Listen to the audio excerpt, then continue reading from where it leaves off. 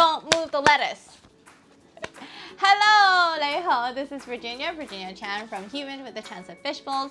And today is winter solstice in Hong Kong. Actually, winter solstice is the same everywhere in the world, but it is particularly important in Hong Kong. So I thought I could take you to let you know what happens in Hong Kong during winter solstice. So let's go. First thing, what is winter solstice? Winter solstice occurs when one of the Earth's poles has its maximum tilt away from the sun. So actually in layman terms, it just means that it's the shortest day of the year, day in terms of daylight. In Chinese, there's a saying called uh, Dong Dai Go Lin. It means that winter solstice is even bigger than Chinese New Year's itself. And I was like, huh, why?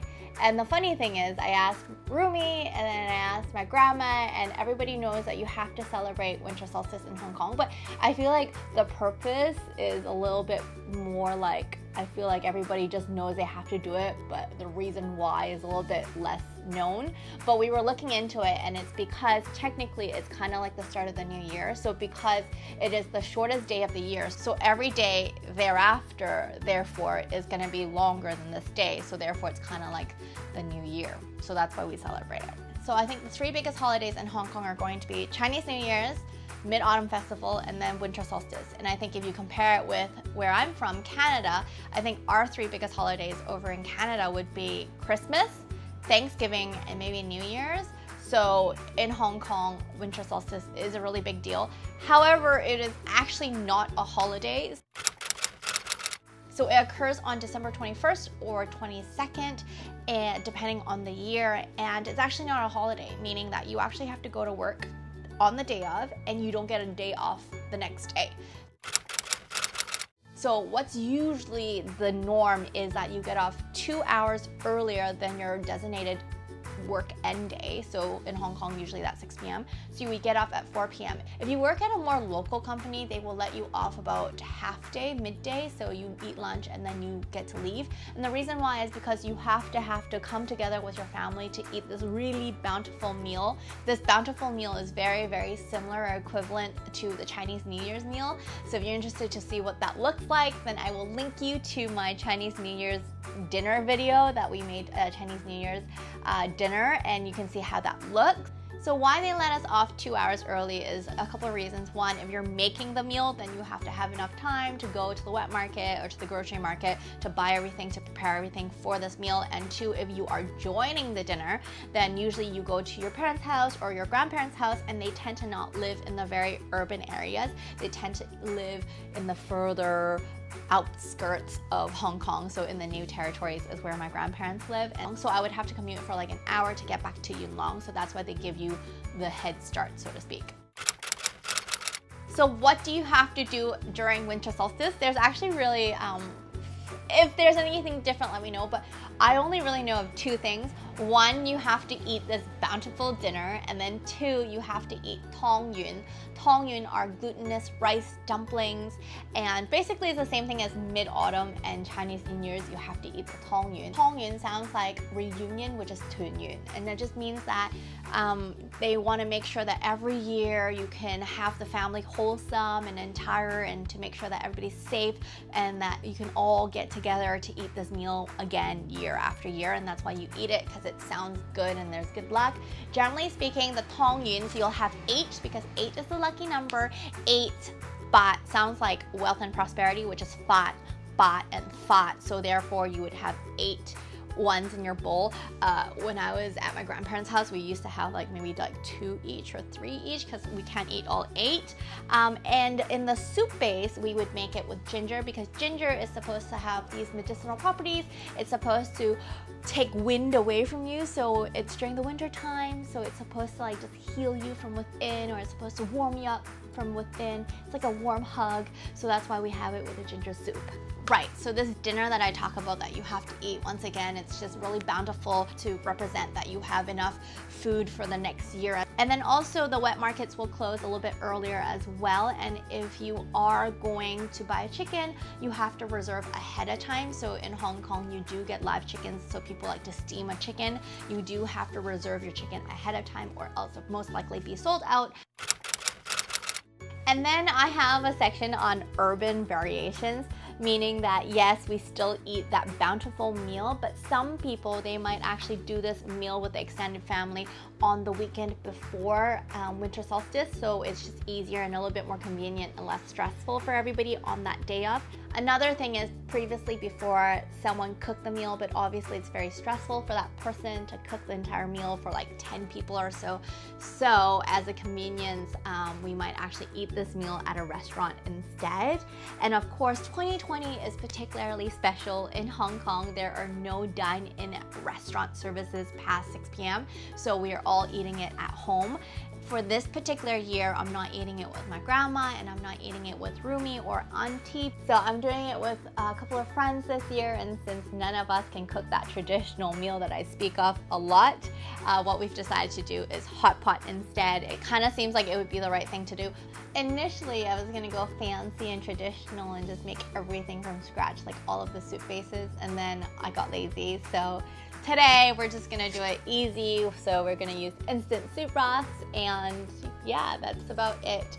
I would show you the process, except I have a couple of other friends uh, eating this meal and they're kind of camera shy. So I'll just leave it here. I'll take some panning shots, but I'll show you some shots of me battling it out at the supermarket, at the wet market, at Donki with everybody else. And then I'll show you the dessert afterwards as well. So that's about it on my winter solstice in Hong Kong Okay, it's 4.20 and I'm really scared that the wet market's gonna be closed. So we're gonna go to the wet market first before we go to the supermarket.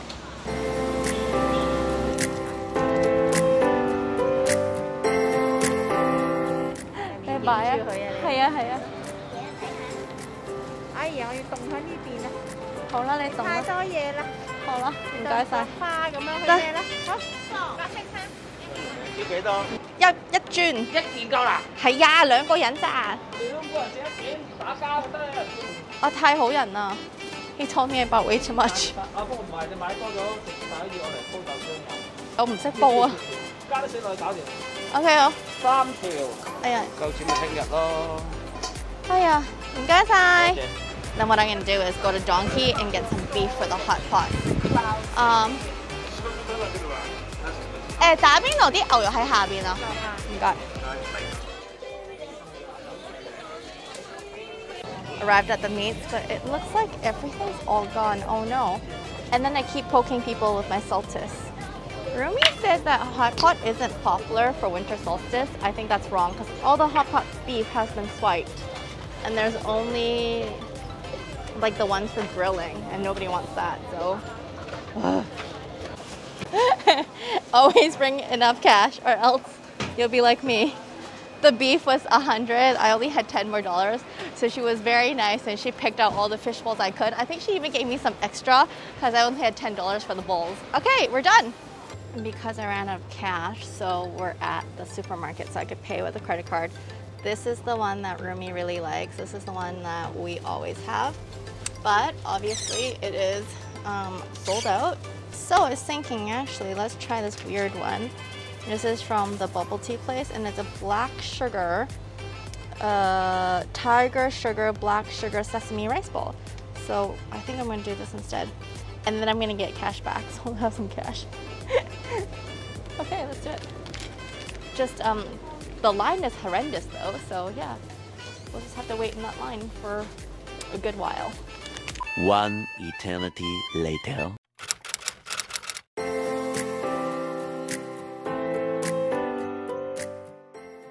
No, but hot pot etiquette, or if you don't know how to hot pot, we usually like to hot pot the beef first, and then I usually do vegetables at the end. However, apparently that's completely, completely wrong by a dietitian because by the time you do the vegetables, it's like in an oily broth. So you're supposed to eat the vegetables first, but that sounds very, very sad. So normal people will eat the beef first, and we will put in the things that take a while to cook, like the dumplings and the fish balls in with the corn at the beginning. So halfway through, you'll be able to eat it in time. And then as we're waiting for that to cook, then we'll do the beef. And then a little bit later towards the end is when we do the carbs, like the fancy, the glass noodles, and then the udon.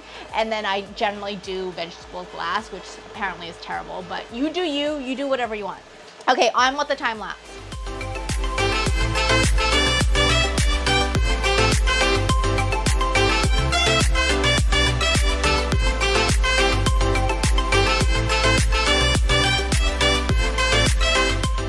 This is our sauce platter. Chili, cilantro, garlic. Oh my god, and look what I did. So spring onion, I even separated them between the green and then the white. I went all out for this, yo. Beef, sauce, sauce stuff, saute, clear broth, tofu, lettuce, bean curd, udon, glass noodles, veggies. Bon appetit! Here is the ending of the night, which is the tong yun, which are the glutinous rice dumplings. They're usually white. I repeat, they're usually white, but it's because I bought the black sugar kind, so they look humongo. Look at this. So I'm only eating two, not eight. So yeah, if you've enjoyed the video, please don't forget to comment, subscribe, and like.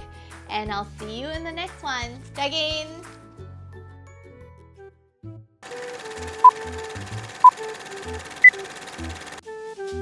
The time lapse is waiting for you to give me a garbage can, garbage bag, garbage bag.